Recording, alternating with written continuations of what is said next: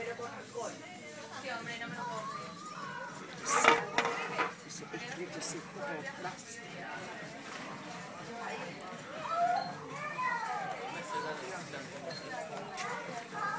Det synd att inte Pierre och Madde har varit här någon gång. De har ju sitt Italien. Hörru, De har ju sitt Italien. men de har ju inte det här. Uppe i bergen.